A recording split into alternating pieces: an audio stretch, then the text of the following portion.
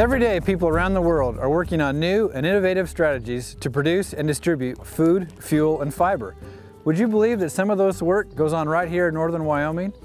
Today we're visiting the Powell Research and Extension Center, where scientists are working with farmers and ranchers, exploring new ideas and crops to help Wyoming's agricultural economy.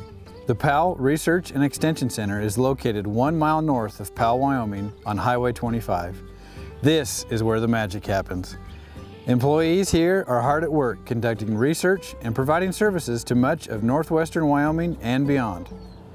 The 175 acres of irrigated cropland provide researchers opportunities to explore different varieties of crops such as alfalfa, sugar beets, and sunflowers. Other research topics include weed control, irrigation efficiency, and the use of high tunnels. The station is home to Wyoming's only seed testing lab and seed certification service. The researchers at the lab work with seed sellers to make sure the seeds they sell to farmers are disease and pathogen free. People are encouraged to stop by and check out this wonderful Wyoming resource here in Powell.